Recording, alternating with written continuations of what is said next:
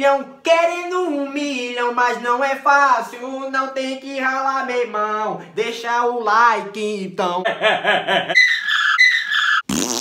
E aí, seus danoninhos?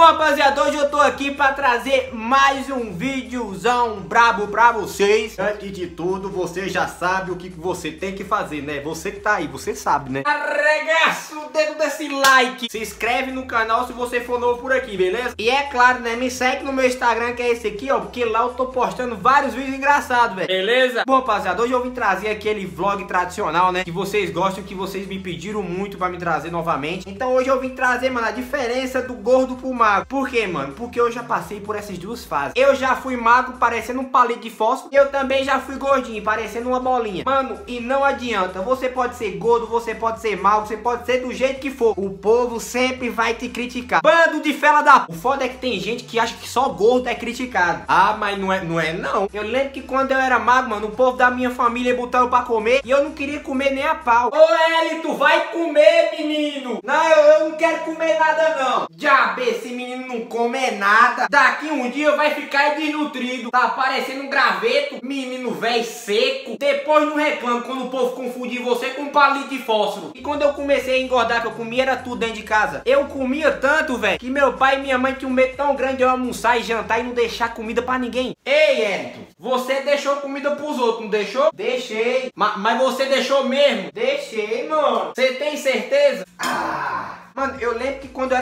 quando eu era magrinho, parecendo um espeto, eu ia jogar educação física na escola, velho. Mano, na moral, eu tinha até vergonha. Os outros meninos parecendo uns brutamontes, uns hipopótamos, uns gorila, uns crocodilo. E eu lá, mano, parecendo aqueles bicho pau. Rapaz, mano, os caras trombavam em mim lá no meio da partida de futsal. E eu caí igual bosta. Agora, quando eu engordei, mano, aí era diferente. Primeiro que jogar bola eu nem queria jogar. Preferia ficar comendo. E quando eu ia jogar, mano, eu não dava conta de correr, não. Dava dois passos e já tava cansado. Não, o engraçado é que quando a gente emagrece, ninguém não fala nada. Não tem ninguém pra te dar os parabéns. Agora, meus amigos, quando você engorda um quilo, rapaz, só falta virar notícia no Jornal Nacional. E o foda é que quando eu tava gordo, mano, na moral, velho, qualquer lugar que eu estivesse, se sumisse ou acabasse ou faltasse alguma comida, mano, a primeira pessoa que todo mundo suspeitava era de mim. Pra você ver o tanto que esse povo é desgraçado. Ô, velho, cadê o pedaço de bolo que eu tinha deixado aqui? Vixe, mano, eu acho que foi o Wellington que pegou, viu? Ei, mano, eu não tenho certeza não, mas eu tenho quase certeza que foi o Wellington, viu? Mano, alguma coisa me fala que, que foi o Wellington mesmo. Ah, não, velho, mas também é tudo eu que como nessa merda, não foi eu não. Não, mas o povo acha que só gordo passa por bullying. Mas quando eu era magro também, os caras faziam bullying comigo. Eu lembro que quando eles iam me zoar, velho, eles falavam assim que se eu tivesse carrapato, velho, os carrapatos iam morrer de fome. Bom, rapaziada, esse foi o vídeo. Espero que vocês tenham gostado. Se gostou, deixa seu like, se inscreve no canal aí se você for novo por aqui e compartilha o vídeo aí pra geral com seus amigos, beleza? Então é isso, falou, tamo junto, é nóis.